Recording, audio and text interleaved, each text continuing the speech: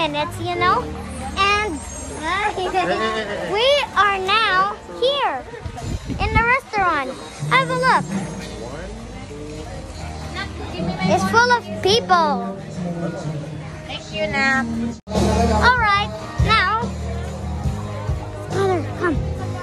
This is this is